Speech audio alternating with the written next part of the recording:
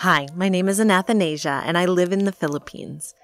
This is a story by Mom Janessa about a creepy, unforgettable day when she was in her teens. My mom lived with her aunts and uncles, and she wanted to visit her family. Her family lived in Valencia on the Bukidnon province of the Philippines. At the side of their house is a bridge, and underneath the bridge is a river. One time, while visiting her family, my mom decided to wash her clothes, and my grandpa told her to wash his clothes too. Decades ago in the Philippines, people usually washed clothes near the river because there was a lack of running water. The river water was also safe to drink, so people tended to live near the river. After my mom prepared the things she needed to wash the clothes, Grandpa helped her carry it all to the river. The river was peaceful and very cold, and the weather was sunny, so it was a good day to wash some clothes since they'd easily dry under the sun. My mom was enjoying washing the clothes by hand when she heard footsteps coming from the bridge. The bridge is made of thick wood, so it makes sounds when someone passes by. My mom was facing the bridge and she immediately looked up so she could greet the person because it could have been her neighbor. But nobody was there. She looked all along the bridge, but there was no one in sight. She continued her work and she heard another set of footsteps again. She glanced back at the bridge and still no one was there. She felt a little worried, but my mom is brave, so she let it pass. After she washed all the clothes and hung them up, she heard yet another set of footsteps. She turned her head to the bridge and was shocked because she could hear the footsteps of a person running. But even though the bridge was shaking a bit, no one was there. She was becoming distraught at that moment, but she closed her eyes and took a deep breath. When she opened her eyes, she saw a shadow of a tall. All was black. There was nothing else to see. She panicked and ran back to the house. My grandpa was shocked and asked her, What's wrong? She just said, There was a dog chasing me. My mom went to her room after. Two days later, my mom was busy getting ready for the day. She was brushing her hair in front of the mirror when, out of nowhere, a shadow passed by the reflection. She was startled and looked back and checked the whole room, but no one was with her. She began to brush her hair again, and when she glanced at the mirror, she was terrified when she saw the shadow man right behind her. She shouted and ran out of the room. The door was just to her right. She was so freaked out that she jumped down the stairs and hurt her legs and knees. My grandpa immediately went over to her and asked her what happened. She told him everything about her first meeting with the shadow man at the bridge. My grandpa just had a serious look on his face and carried Mom to the wooden sofa and treated the bruises she had. But then my grandpa told her, I know that shadow man. My mom was confused and asked him, Who is he, Dad? Grandpa gulped and said, He was our neighbor, Gilbert's son, Andrew. He died three years ago. It was raining very hard, so he was running as fast as he could to get home. He ran across the bridge, and when he reached the front of our house, a bolt of lightning came down and struck him, and it burned him to ashes. My grandpa had a very sad look on his face. My mom was shocked and speechless. The people who saw him die were startled and shouted. They called Gilbert and only saw his son's ID that was left half burned. Mom was at a loss for words and sad because of what happened. After Grandpa treated her injuries, he told her to just rest here on the sofa until her sister got back home so she could be with someone in their room. On the next day, our neighbor Gilbert happened to visit. My grandpa told him about what my mom encountered, and Gilbert apologized because she was scared by his son. Mom just accepted the apology and wanted to rest more. After a week, my mom's legs and knees were feeling better, so she went back to her hometown Davao, but she will never forget those footsteps. This isn't the most interesting story ever, but I thought I would send it in anyway. I'm also not using my friends' real names while telling this story. This happened only three nights ago. My friends and I always stay out really late or go out really late. This one night it was cold and raining, but we decided to go out anyway. It was me and my four other friends Jacob, Mike, Brooke, and Abigail. Abigail and Brooke were staying at my house that night, and we decided to meet up with Jacob and Mike at the store down the road from my house. By the time we got there, we were already soaked. We were all walking to our hangout spot, which is a good 30 minute walk, and we were joking around pretty loudly the whole way. We were not even halfway there when somebody screamed at us from their car. Didn't say anything, just screamed loudly. Everyone heard the scream except for Brooke. We thought nothing of it because people driving past us at night always do that. We started to joke around about a hostage situation that happened in our town the day before and talked about how one guy got away. I didn't even know it happened, so I was pretty frightened at first, but forgot about it pretty quickly. We were still walking, laughing, and joking around ten minutes later when we heard a man yell, Shut up! at us. We turned to look behind us and saw a man in an alley across the street. We all looked at each other and none of us said anything because we didn't know what to say. The man then yelled again. People are trying to sleep! Since we were being loud, my first thought was that it was a guy who had been woken up by our yelling and such. We turned around to continue walking when he yelled again. Shut up! Brooke thought he was joking or something, so she yelled back at him.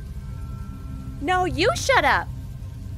As we are about to continue walking, he yells again, Who wants to talk? and he starts crossing the road to where we were. We all panicked and began running towards the nearest gas station, which wasn't too far away. The guy is running towards us, and my friend Jacob tells me to call 911, so I call them. They pick up, and I can barely hear them from our running, yelling, and the man's yelling. I tried to explain what was going on, but I didn't know how because I was so terrified. We get to the gas station, and my friend Brooke takes my phone and talks to the operator. We told the guy working at the gas station what happened, and luckily there were two customers in the store. My friends and I were in the store's corner near a cooler when we saw the guy walking up to the gas station door and noticed he had blood all over his shirt. The blood was coming from a wound on his head and a cut across his neck. The guy working at the gas station also calls 911, not knowing we already did. The guy starts yelling at us again, just repeating the same things. One of the customers, who's a little older, gets in front of us because the guy was trying to get closer to us and he also tried to grab onto my friend Abigail. The customer in the store tells the man, Back up right now. The guy says loudly, No, you back up or somebody's gonna get hurt. We then see a police officer pull up by the gas station door and ask what's going on. Brooke hands me back my phone and I tell the 911 operator that the cops are here. They told me to talk to the officer and hung up. The guy kept saying a bunch of random things to the officer, and then two more cars pull up.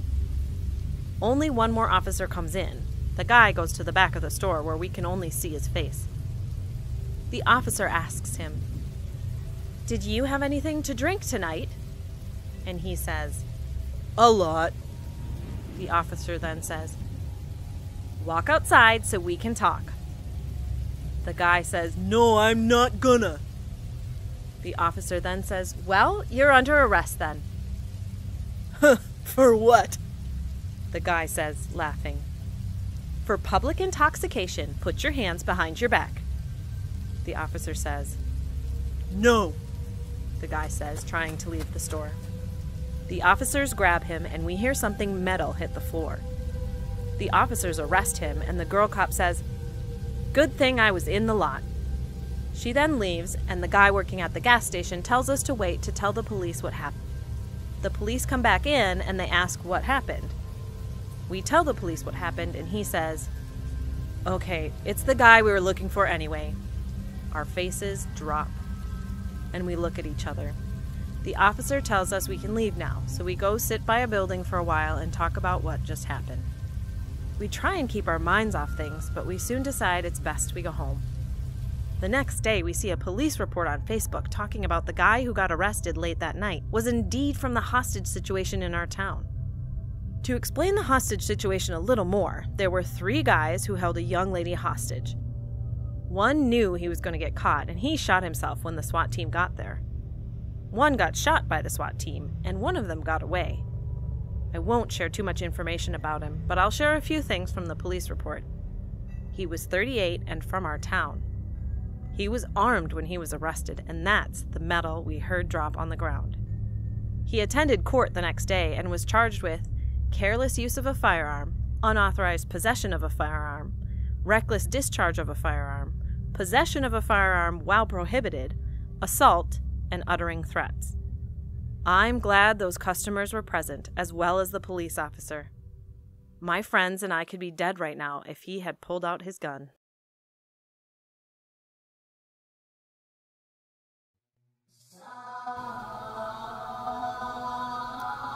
The Midnight Huntings.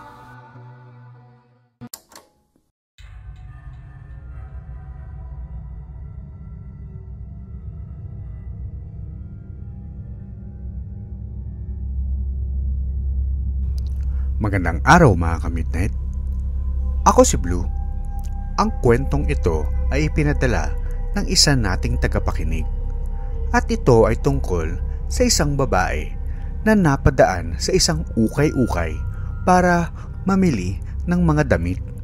Ngunit hindi niya inaakalang may nakakabit na kababalaghan sa kanyang mga pinamimili. Lahat naman tayo ay gustong makatipid sa pagbili ng mga gamit at damit. Kaya naman, isa sa ating solusyon para di mapamahal ay ang pagbili sa mga ukay-ukay. Ngunit sa aking karanasan ay naging mas maingat na ako sa pamamili ng aking mga binibili sa ukay-ukay. Ako nga pala si Karen. Ang aking kwento ay nagsimula nang ako ay napadaan sa isang ukay-ukay at naisipang bumili ng aking mga susuotin sa paparating na debut ng aking matalik na kaibigan. Naisip kong doon na din ako bumili ng aking ipang re-regalo sa kanya.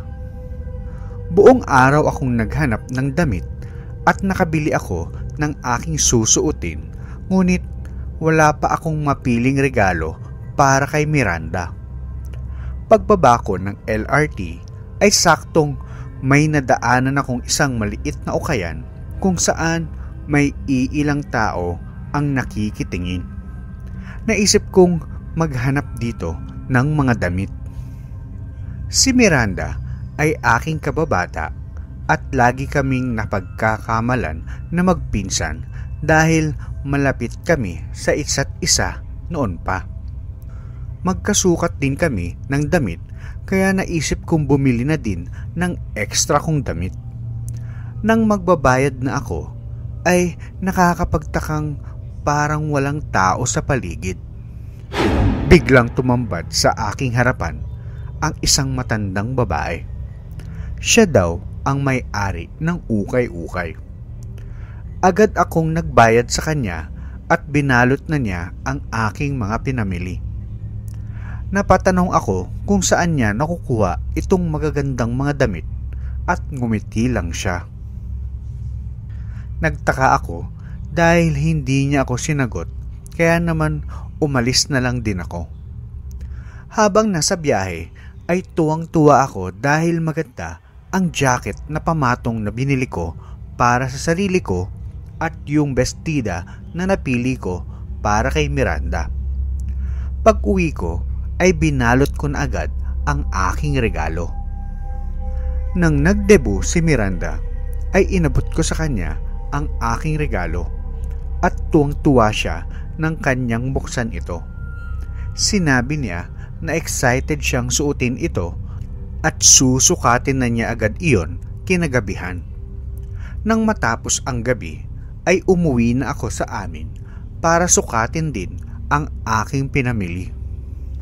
Bago ko pa mailabas ang aking mga pinamiling mga damit, ay nagtataka akong biglang tumawag sa akin ang nanay ni Miranda. Sinagot ko ang tawag niya sa aking cellphone at sinabi nitong na ospital si Miranda. Nang tanungin ko kung ano ang nangyari, ay kinilabutan ako. Tinadtad daw ng sugat at pigsa ang katawan ni Miranda. Di daw nila malaman ang dahilan dahil bigla lang itong lumabas sa katawan ni Miranda habang nagbibihis daw ito. Bigla na lang daw siyang sumigaw at nakita nilang nagsusugat ang mga kinakamot nito. Binisita ko si Miranda sa ospital at naisipan kong gamitin ang jacket na aking binili dahil malamig doon. Pagdating ko ay inaalam pa daw ng mga doktor ang sanhi nito ngunit ang suspetsya nila ay may nakakahawang sakit itong nakuha na kumakalat sa balat. Nung pauwi na ako sa amin, ay napansin kong bukas pa ang ukay-ukay na aking pinagbilhan. Naisip kong bilhan si Miranda ng scarf o panlamig dahil naisip kong baka lamigin ito sa ospital. Nagulat ako pagpasok dahil ibang tao ang sumalubong sa akin na nagpakilalang may-ari. Nang tanungin ko kung nasaan ang matandang babae, ay nagtaka ang lalaking Chinese dahil siya daw ang may-ari nito. Nang ipinaliwanag ko ang itsura ng babaeng nagbenta sa akin, ay sinabi niyang baka iyon yung pulubi na tumatambay sa kanyang tindahan. Sinabi ng may-ari na laging pumapasok ang matandang babaeng iyon at nagpapanggap na may-ari kaya itinaboy na niya ito. Umuwi ako nung gabing iyon na nag-aalala kay Miranda. Kaya naisipan kong ibigay sa kanya ang jacket na bagong bili ko. Dahil magkasukat kami ng damit, ay naisip kong sukatin muna ang bagong jacket na aking nabili. Isa itong panlamig na jacket at sigurado akong magugustuhan ito ni Miranda. Maya-maya ay nakaramdam ako ng pangangati at nang tanggalin ko ang jacket ay napasigaw ako. Puno ng piksa at sugat ang aking katawan at kamot ako ng kamot sa sobrang kati. Namumula-mula ang aking balat at napuno ng nana ang mga ito. Nagsisigaw ako sa takot at agad kong pinuntahan ang aking magulang para dalhin ako sa ospital. Ipinaliwanag sa amin ng doktor na nakakuha daw ako ng tinatawag na flesh-eating bacteria na nakukuha sa mga maruruming bagay. Agad kong tinawagan si Miranda at napag-alaman na ganun din daw ang nadiskubre na nangyari sa kanya. Nang imbestigahan pa ay nadiskubring galing daw ito sa mga damit na sinuot namin na parehong galing sa ukay-ukay. Nang puntahan ito ng aming pamilya ay nagulat silang ipinasara na ito matapos ang maraming kaso ng flesh-eating bacteria sa mga namili dito. Napag-alaman din na ang matandang babae daw ang dahilan dahil nagsusukat daw ito ng mga damit sa ukay-ukay kapag walang nakatingin. Nalaman din na nakatira ang babaeng iyon sa sementeryo at nagnanakaw ng mga damit sa mga patay para suotin. Simula noon ay naging maingat na ako sa pamimili ng mga ukay-ukay at sinisiguradong labhan muna maigi ang mga damit ng ilang beses. Hinding hindi na rin ako nagsukat pa ng damit hanggat hindi ito nilalabhan. Kaya mag-ingat tayo bago tayo bumili sa mga ukay-ukay.